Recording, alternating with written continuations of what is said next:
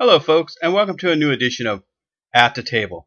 Tonight, we're not going to feature Robbie, Czar Blandon, Tony, or any of the other regulars. We're going to go like time travel back to a time before they were playing, and I'm going to share some of the art and a story wrote by one of the players from back in the days. Back in 96, actually, some a lot of stuff was done. And the story, the adventure was created by Anthony Barba. And the world is called Hazzard. It was a chaos world. This world of Hazzard featured a character named Prancer Lightfoot, who had a partner named Darkon.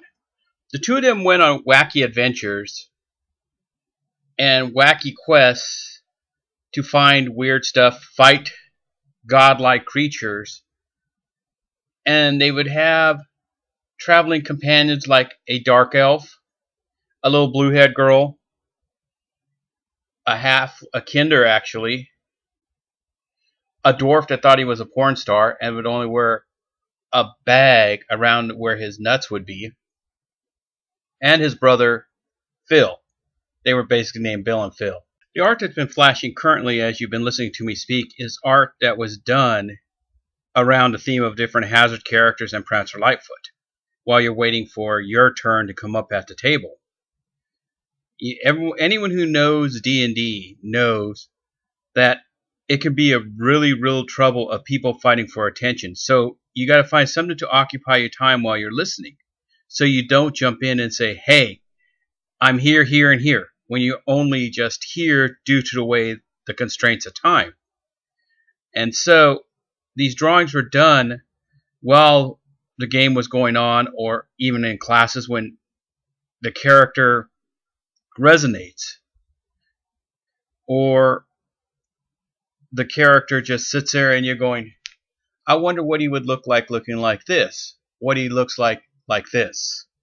The story I'm about to share with you was wrote by Farris Lang while she was in high school. The story is based around some of it loose, some of it accurate, the characters of Hazzard. Now, enjoy the story.